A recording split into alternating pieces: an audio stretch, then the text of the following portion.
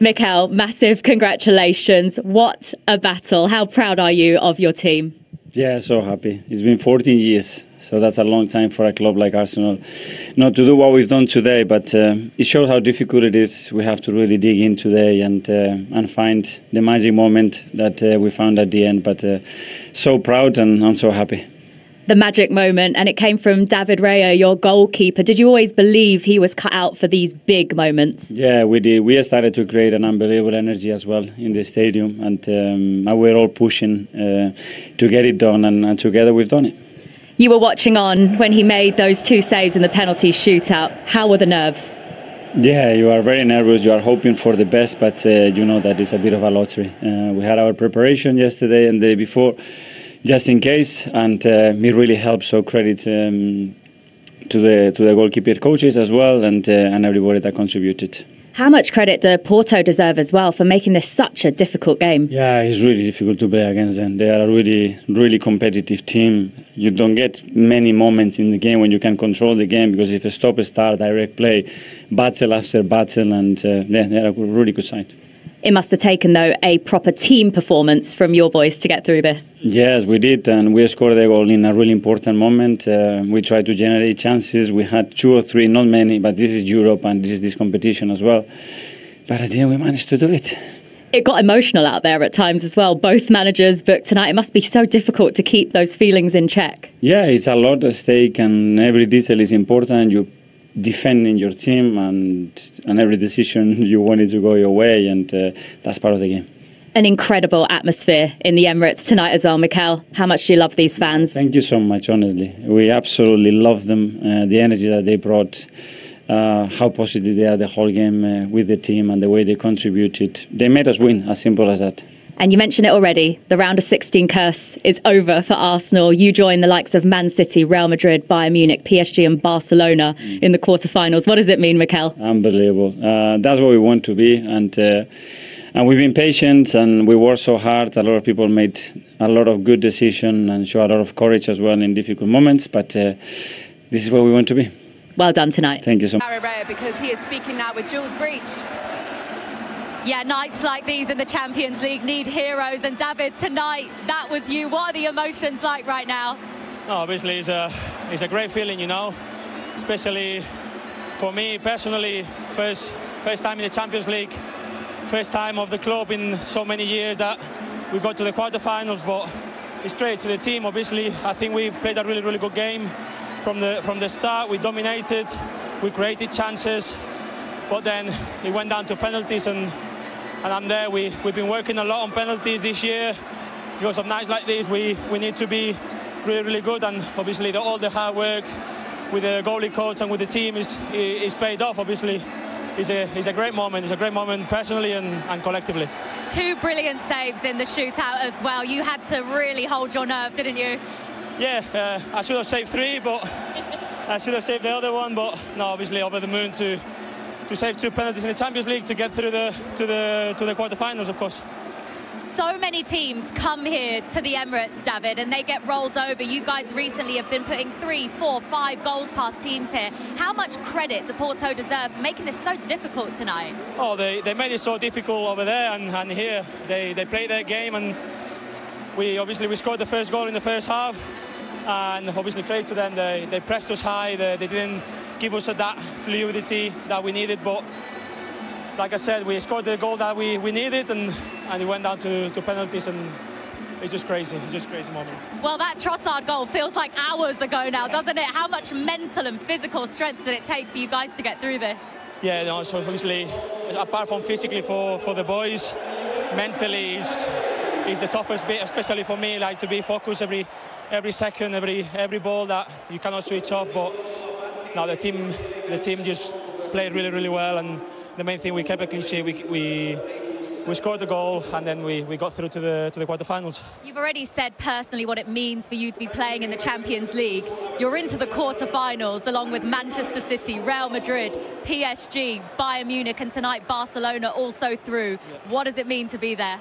No, it means it means everything. You know, you you play you play football for these kind of things, and I'm lucky enough to, to be playing for Arsenal and to be in the Champions League, and lucky enough to, to get through to the quarterfinals this time. So over the moon. I'm just going to celebrate it with the with the team and and enjoy the night and just just be just be the, the way it is. Yeah. Enjoy your celebration. Thank you very much. Thank you. What a night where we questioned the resolve of Arsenal in previous years and the fact that they couldn't get past this stage for about seven times in a row.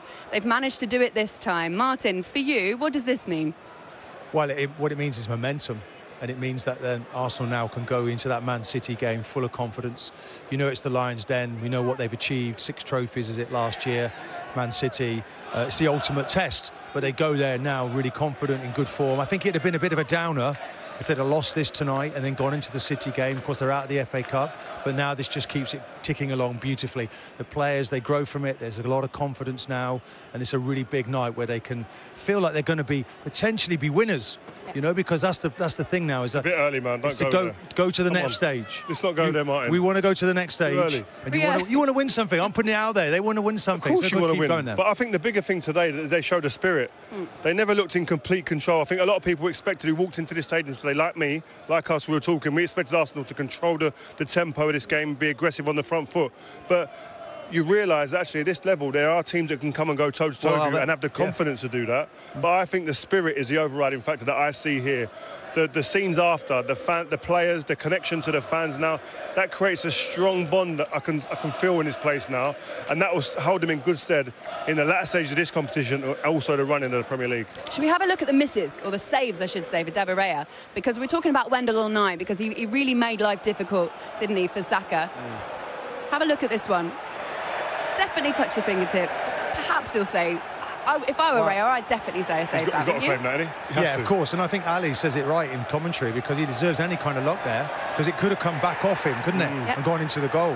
So that was really a moment. It was, it was, to be honest, it was almost typical of the evening. It was actually on a fingertip knife edge, wasn't it? The whole match, and this sort of sums it up there.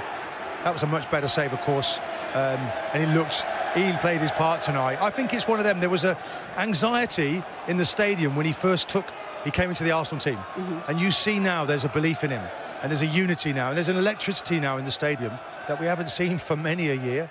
That's 14 years since they've made it to this quarter-final stage. So we just need to feed off of that, so the season keeps going in that upward trajectory. There- There are moments for players though in their in their careers at their clubs where you go, and that was a moment for me that really changed it. My, my the, the connection with the fans, the, the belief now from myself, but also them in me. This could be one of those moments for a goalkeeper. Penalty shootouts, out, shootouts, it's never in their favour, but they can become the heroes. And today he's the hero. Galeno was the hero from the first leg. Let's have a look at his penalty as well. How much credit will you give the uh, the save for David Raya in this instance, Rio? Yeah, it's a much more clean save. I think it's, uh, Galeno was was nowhere near the, as, as sharp or as bright as he was in the first leg, but. Um, this comes up to this moment. It's a penalty shooter. You know what I have to say? I was so impressive Saka's penalty. It was a ridiculous penalty. This was this was the one that Raya saved though. But he gets across quickly, um, and he gets a good clean pair of hands on it, which is what you need in these situations. Because as I said, with the nerves, you can all easily have butter wrists, and that can go through you. 100%. But you have to say the penalty takers for Arsenal, was- they were emphatic.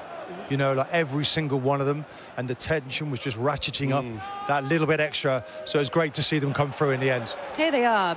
Captain Martin Odegaard stepped up first, Rio. no doubts at all when he steps up. This guy's a, the ultimate technician. This guy mentally seems like he's just cool as you like, doesn't he? Saka as well. This was after the miss, Wendell's miss. That's quite a pressured moment too. That was Well, a great penalty. That one. Yeah, yeah, yeah, world class that one. But the, this one here, I mean, I, I was worried for Declan because it was a, do you know, it was a hard evening for him. I think in that midfield, covering a lot of distance, and you wonder was it going to go against him? But it just shows you in that when the big moments come, he turns up. Builds mentality, surely, when you go through something like this. Yeah, 100. As a group, Yeah. like none, none of these have won together yet. So as a group, they're just they're just ticking the box of certain certain hurdles that are in their way. A penalty shootout in the knockout stage of the Champions League, they've not done that together. So now they've got through that. What confidence that builds in that change room is immeasurable. And I think going into the, the I keep saying it, but the final running is all about momentum and maintaining that confidence. And here they are today. They didn't play particularly well. No. Loads of room for improvement. Yeah. But they got it through. I was going to say that. What will Mikel Mikel Arteta take from this match as a whole, do you think, Martin? Well, I think now that it's about back to the Premier League, isn't it? And it's that territory that's familiar territory for Arsenal. The fans now got their Arsenal back again. This is a competitive team that's at boiling point and is, is, wants to win every game. And they came up against sort of wily old fox, really. I thought Yeah. their manager tonight, 50 games he's played in the Champions League and managed this manager. Mm. And look, looking at our manager, what is this, his eighth game tonight? So there's a big there's a big gap there. But he closed that gap and he, he learns every time he, he manages for me. And the team lo- grows with him. So we take that forward now, as I say, to the next big game. And that's it's great to be. You want this, you dream about this, don't you, as a kid, to be involved in the big games. You've got to love it. And Arsenal are really doing well right now. There'll be fans in, in the stands tonight that will have enjoyed that beyond measure, will have watched that and would have been like, wow, to, to win it when you're struggling, that's not necessarily got control of the game, and then for it to go through extra time in the way it did, and then for it to go down to penalties and to witness that, that's, that's just so monumental for so many fans, Rio. Yeah, well, we, we're walking around the, the side of the stadium, I mean, of the pitch, and we're looking and seeing all the young fans there. This is their first moment of seeing Arsenal at this stage of a Champions League competition, winning a knockout game under these circumstances. These are memories that are being created, and it's wonderful for these players. Um, and I, I think they're a, a, genuine hard, hard, hard opposition for anybody left in the competition. I don't care. Man City over two legs, difficult game for them because Arsenal are a team. I think that can match most teams left in this competition. Whether they'll beat them, but I think they can go close to anyone at the moment. I'm just enjoying the fans singing that waka waka da, da, da. Kai Havertz scores. Do you know the words? No. Martin's not, a singer. I'm He's not going to singer. listen. I'm a I'm not going dancer, to make not you a sing singer. them. But, the, but ultimately, the essence of that song is 60 million down the drain. Kai Havertz scores again, and, and he was one of the scorers tonight in the penalty shootout. Yeah, I mean that's just the thing, you know. I, and I had no doubt really. It was lovely the way he came up, with just that little shimmy, that dummy, and just tucked it. He made it look so easy. Mm. I might even fancy taking one myself, just try, try and copy him. But in the moment, it's very difficult to do that. There's no tell you. way I can imagine you walking up to a penalty in a penalty shootout. No, I had a Not in chance. I had a chance in the Cup Winners' Cup Did to you? take one, and I, I got into a fight with Steve Bould actually. Oh, and did luckily, you? David Wow. Seaman saved the penalty, so neither of us had to go up and take it. Hey, so who would have won in a so- fight between you and Steve? Oh, that'd have been I don't know who- interesting, yeah. I don't know who I put my money behind. Listen, sometimes, and I know it's your job as, as pundits, and you have to make decisions quite quickly, but sometimes is it too early to judge a player when he changes teams, like in the way that Kai Havertz was? And people out there will say, look, he's enjoying a purple patch at the moment. It might not last. But is there something different about the way he's developing under Mikel Arteta? I think Mikel Arteta has to take huge credit of the way that he's, he's managed him. I think he came in and, and people were questioning it a little bit, um, the price tag. Um, but he's really managed him well in, into the team. Um, he's been flexible. The approach today from Porto slightly different from that first leg, but the all-important goal in the first half came from Trossard, Rio. Yeah, well, fantastically worked goal. I think this is the only time we've seen Odegaard face up on the edge of the, uh, Porto's box. And wow, wasn't it wonderful when he got there? His clarity, his vision, he shifts it back onto his left foot. That's a trigger for Trossard to move, and he gets it through the eye of a needle. It's a wonderful finish in the end. But the move is what I love here the movement, the timing. And Odegaard, listen, this is seventh assist this season, matching last season. So look at that little bit of time. You can't give somebody like that, a locksmith, the keys there and the time to open you up because he will do it. It's a wonderful pass. Look at that, inch perfect Yeah. and a great finish. I agree, and of course Trossard is trying to the back of that de- defence. Pepe probably just a little bit too deep. I think he probably feels personally he could have done a little bit better. But nonetheless, that was a vital goal for Arsenal because they were a little bit tentative. It was difficult for them. It was a combination of Porto really pressing really very high and making it nervy for Arsenal. So that goal settles them down nicely for half time. Certainly, that high press at the beginning for Porto did create their own variation of chances, Rio, didn't it? Yeah, uh, Martin mentioned there about surprising us in the way they approached this game. We didn't think they'd come up and press so high. They, I think early on, they kind of made them a little bit nervy, Arsenal, the back line. And here, creating half chances, not a perfect chance, it's a half chance. But being brave and stepping up the pitch allows them to create these moments. And they didn't do this in the first leg. They pretty well sat back and let Arsenal enjoy the ball a bit. Arsenal really didn't do a lot with it. This is a totally different game. They came, when they, they showed their teeth as well at times, and it was a little bit nervy from an Arsenal point of view. But if you look at the man, at the two teams, this is the fifth time now that this club has, has qualified his team for this stage of the tournament. So there's an awful lot more experience, and I think Arsenal are, are just growing into this game now tonight. And those positive signs, Saka Trossard, much more involved in the game at this point versus last, uh, well, last leg. Yeah, well, what we said last game was that the wingers aren't getting into the game. They found a way now to get the ball to those wide players, and they're, they're proving dangerous in the fact there that Trossard gets the first goal of the night. Okay, right. Hello and welcome to the Arsenal and the Porto game. The Arsenal plays the Porto in the uh, second aggregate. In the first aggregate, uh, Porto scored one goal in the extra time on the Arsenal side. while uh, from the Arsenal side today, the first goal from the uh, Luke Trossard scored the goal in the first half at the 41 minute for the Arsenal against the Porto. Uh, there is some fight has been seen between the Trossard, Declan Rice and between the Porto people, uh, Porto players. The match uh, is started and 54 minute has been completed and the game is on the Emirates Stadium, the home ground for the Gunners. Uh, there is uh, something three quarters of the way through this last 16 time. We are on square as Arsenal take a 1-0 lead into half time at the Emirates. The Gunners were frustrated early on as Porto made an assured start struggling to curve out clear-cut chances. Odegaard pulled a shot wide before Pepe's excellent defensive header prevented Havertz from nodding home. Porto caused problems at the other end as Svensson forced Raya into action, but just as the home fans started to grow restless, Arsenal leveled the tie. Odegaard produced a wonderful touch and pass to release Trossard, who made no mistake with his finish into the bottom right corner. The momentum seems to be with the Tata men's now, but the visitors have shown enough to warn the Gunners against complacency.